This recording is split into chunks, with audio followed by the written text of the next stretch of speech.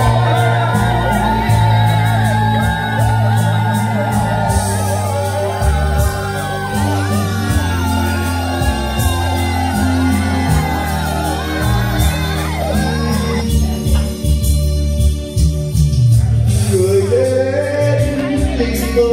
kênh Ghiền Mì Gõ Để không bỏ lỡ những video hấp dẫn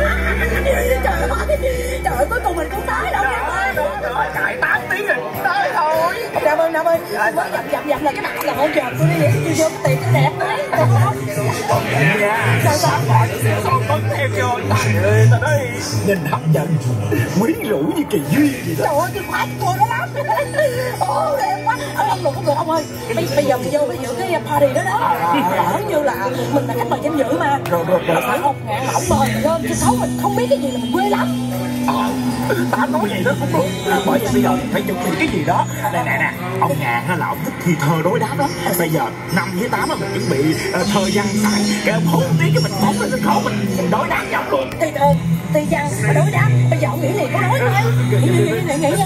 À, sao sao? Tiền là giấy. Tiền là giấy. Ờ. Đốt là trái tình là bụi.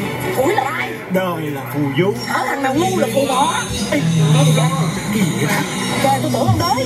Không mới đang suy nghĩ thôi. Suy nghĩ à? Ờ đang suy nghĩ thôi thôi. lẹ suy nghĩ lẹ ơi à, có có cái gì? Cái gì? Chồng chành như non không ngoan.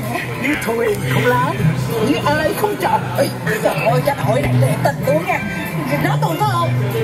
Nghe nói nha đó đi đâu. Cạnh như nó không ai như thuyền không lái như em không chờ nên khi đã tốt được không? Cho dù trời đánh quyết lòng không buồn. Vậy là được được được. Tám vậy là được rồi đó. Tôi mà nói lại rồi rồi rồi rồi giờ nghĩ ra câu nói cho đi. Con cò. Đi chợ văn đi. Ờ. Đâu phải chành mềm lộn cổ xuống